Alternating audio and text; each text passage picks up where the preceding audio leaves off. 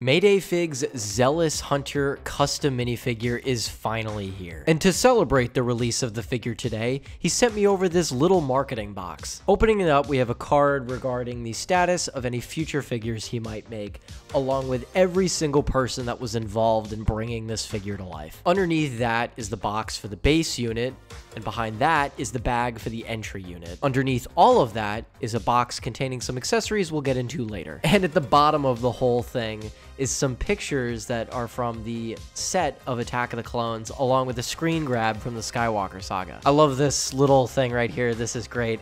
and this picture is just hilarious. It's so 2002. It looks like an album cover. I love it. But let's waste no time and get right into the figures available today.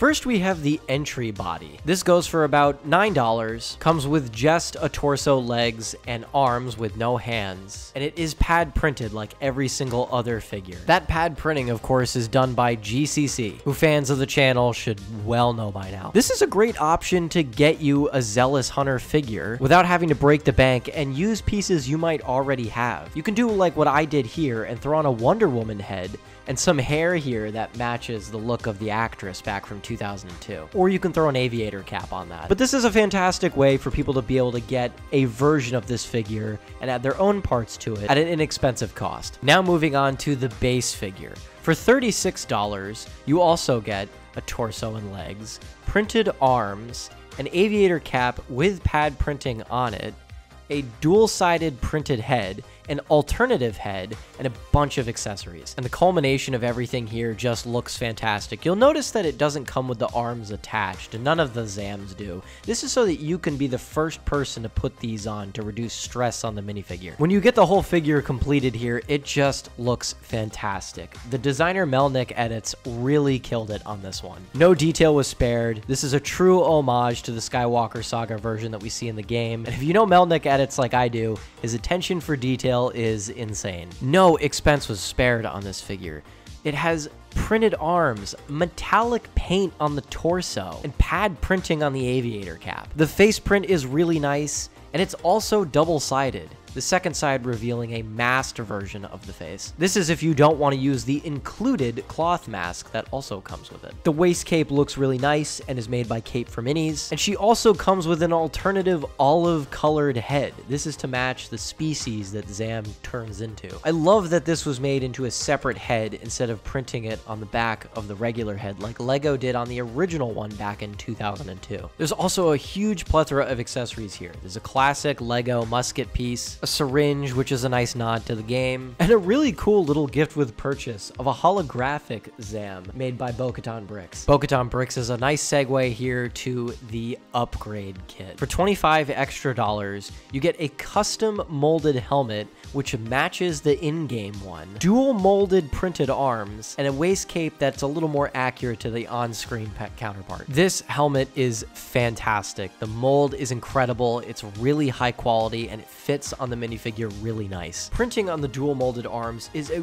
really, really nice touch, and they're also available separately if you bought the entry Zam and would like to add them on there. And the Brickway did a great job on the waist cape. I really like the look of this one. I also like how it doesn't cover the details on the hip and leg printing. But overall, this is just a fantastic figure, and I'll be straight up with you guys. Mayday Figs is a close friend of mine.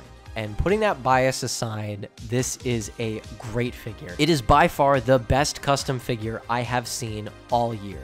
And knowing all of the work and all of the people that went into making this project possible, it's so cool to finally hold this in my hands. No expense was spared here from the beautiful box that the figure comes in if you get the base or upgraded one. No corners were cut here to ensure that you receive one of the most high quality figures you can get. But this isn't all I have to show you today. He also sent me a pad printed yellow Zam here. This was a really cool gift I got in addition to everything else. It was printed from one of the Everything is Awesome figures that come in that set. He went ahead and printed a few Zams on that, and gave me one of the yellow ones.